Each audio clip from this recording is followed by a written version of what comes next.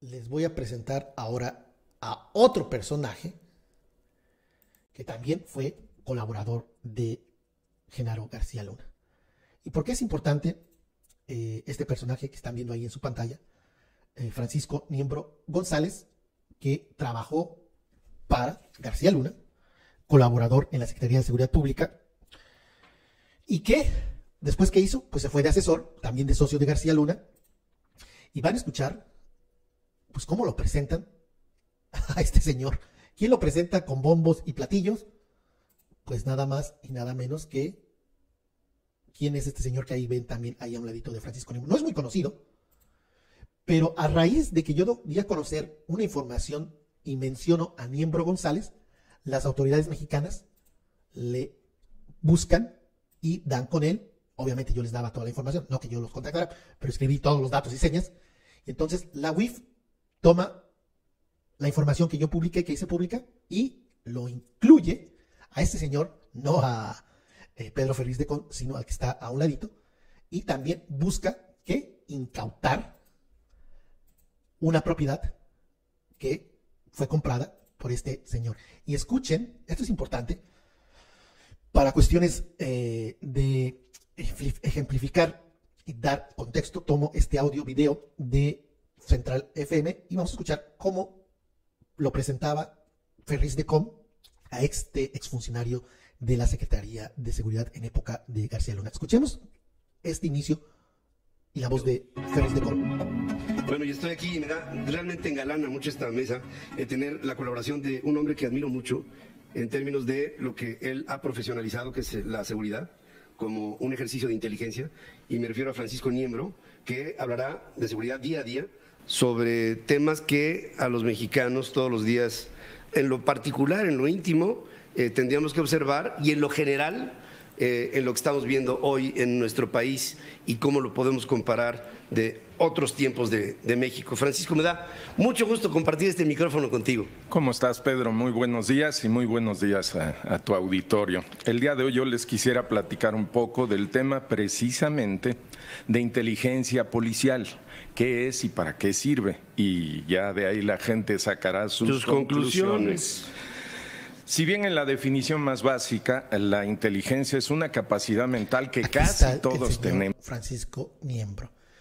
Entonces ahí está la presentación con Bombo y eh, Ferris de Con, muy halagador, presentándolo, casi como la última Coca-Cola en el desierto. Esto fue, les doy la fecha, 2019, eh, tras que ya había trabajado para García Luna. Y aquí les pongo la imagen para que recuerden a este personaje que se ha dicho muy poco, excepto la información que di a conocer de esa transacción de una propiedad. Y ¿Qué es lo que está pasando hoy día? Pues está en aprietos este señor por el caso García Luna. ¿Y por qué? Pues porque pasó esto. No esto, perdón. Sino pasó esto que para mí es vital y me... Pues el documento aquí está. Entonces, teniendo el documento, pues ya no hay. Este es el documento. Ahí está el documento. Son infinidad de documentos, ah, diría unas 500 páginas. Es mucho, mucho, muchos documentos, muchísimos, larguísimo. Pero aquí, entre, aquí está, ahí pueden estar viendo ustedes en pantalla. La voy a hacer un poco más grande. Esta es la acción legal que está tomando las autoridades mexicanas. Esto lo que están viendo es documentos legales y es un caso en contra de, pues la, la, la lista es larga.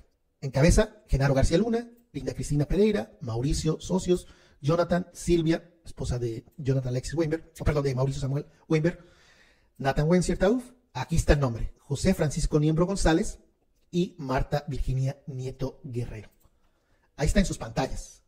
Ahí está en sus pantallas la acción legal. Ahí dice, los Estados Unidos mexicanos, representados por la Unidad de Inteligencia Financiera, eh, Hacienda, y van contra ellos. Y ahí están todos los que van, todos los que están metidos en este rollo, en este asunto eh, de propiedades y activos.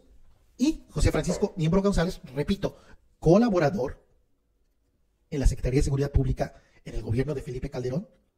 Además, José Francisco Niembro, socio, no colaborador en la Secretaría, socio de Mauricio Samuel Weinberg López, ahí aparece también su nombre, Nathan Wensir. ¿Y qué es lo que quiere la UIF con este señor? Pues aquí está, les presento el documento. ¿Y qué es lo que dice? Aquí está en inglés, pero vamos a leerlo en, español. Esto se los presento a ustedes de forma exclusiva. Importante. Aquí quiero que queden, que no vayan a decir que estoy metiendo otro documento. Este es el nombre, Marta Virginia Nieto Guerrero de Niembro. Recibe, le mandan este documento. ¿Y qué es lo que dice? Importante. Usted, la señora, ¿cuál es el nombre de la señora? Eh, Marta Virginia Nieto Guerrero de Niembro. Importante. Usted ha sido demandado legalmente. Ahí está la clave. Usted ha sido demandado legalmente, tiene 20 días contados a partir del recibo de esta notificación para contestar la demanda adjunta por escrito y presentarla ante este tribunal. Una llamada telefónica no lo protegerá. imagínense, el asunto está tan grave que una llamada no los va a salvar. Si usted desea que el tribunal considere su defensa, debe presentar su respuesta por escrito, incluyendo el número del caso y los nombres de las partes interesadas. Si usted no contesta la demanda a tiempo, pudiese perder el caso, podría ser despojado de sus ingresos y propiedades o privados de sus derechos, sin previo aviso del tribunal. El platillo puede consultar a un abogado inmediatamente. Si no conoce a un abogado, puede llamar a una de las oficinas de asistencia legal, Legal Aid Office, o un servicio de referencia de abogados, Attorney Referral Service, que aparecen en la guía telefónica. Si desea responder a la demanda por su cuenta, al mismo tiempo en que presenta su respuesta ante el tribunal, deberá usted enviar por correo o entregar en la mano una copia de su respuesta. Entonces aquí está, esto es lo importante. Usted ha sido demandado, en, esta, en este caso, ha sido demandada. ¿Quién? Marta Virginia, que junto con Genaro, García Luna, Linda, Mauricio, Jonathan, Silvia, Nathan, José, Marta. De hecho, son 1, 2, 3, 4, 5, 6, 7, 8. 8 personas físicas y el resto son empresas, muchas de ellas de papel.